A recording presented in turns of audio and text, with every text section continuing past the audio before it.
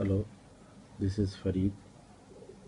I will show you how to assemble agitator along with air sparger using simple household item. This is a grinder coupling. I use it as a impeller. This is ball pen refill. I use it as a air sparger. Uh, this is RO pipe like Kent RO. I use it as another sparger with a bigger hole.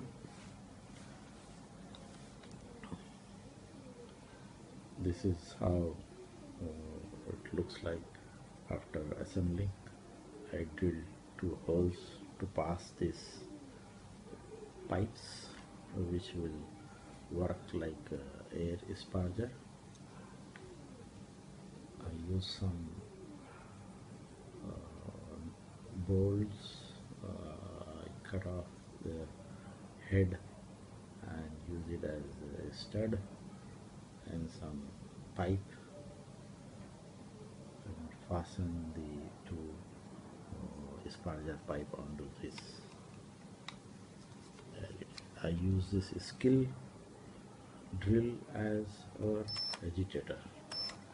It runs at 550 RPM. Let us see how it works.